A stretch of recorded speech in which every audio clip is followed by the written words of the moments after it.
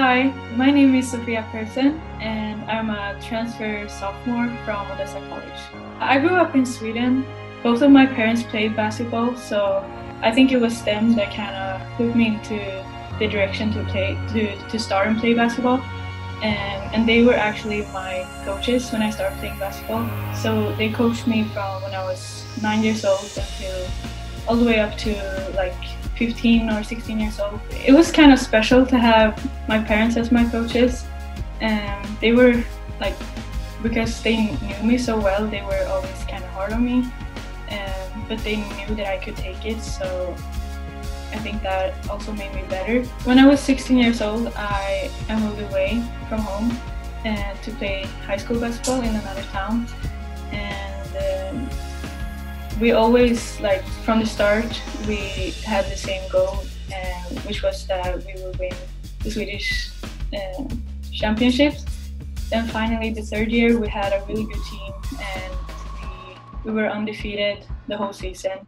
And then our last game was the national championship.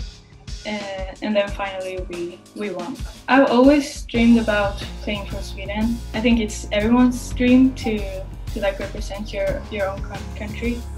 And, and I worked for that a lot during my time like growing up. But it was also something that I, I never thought was possible. My senior year in high school we actually went to the United States and to play a tournament. And over there, I talked to uh, Odessa College uh, assistant coach, and they, yeah, they talked to me and said that they wanted me on their team, and I thought that that would be a good fit for me. Uh, they have a great history. Like we, we played very differently in at Odessa uh, compared to, to my high school team the coaches there were like they really supported me and they believed in me, which made me confident in my game. And I think that really helped me to develop as a player over there. I think I'm the kind of player that, that loves to, to run and to push the ball off the court. But I think like passing the ball is is what I, I love most.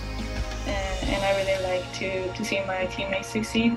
Playing at Odessa made me realize that I really wanted to to keep going with the with my college career and that I wanted to be challenged even more. I discovered that I, I really wanted to play D1 basketball. The reason why I chose USF because I couldn't make a visit because of the virus and everything, uh, but I instantly got a, a great feeling uh, from talking to the coaches here, and that that made me really confident with my decision. And since I got here, we've been like having open gym sessions, and, and I've been uh, we've been playing and uh, and doing some shooting drills. And one thing that really stands out to me is that everyone is like supporting each other a lot, and but at the same time they're really competitive. Everyone's trying their best all the time, and everyone's working hard. And I think I, I'm definitely in the in the right environment to to be challenged.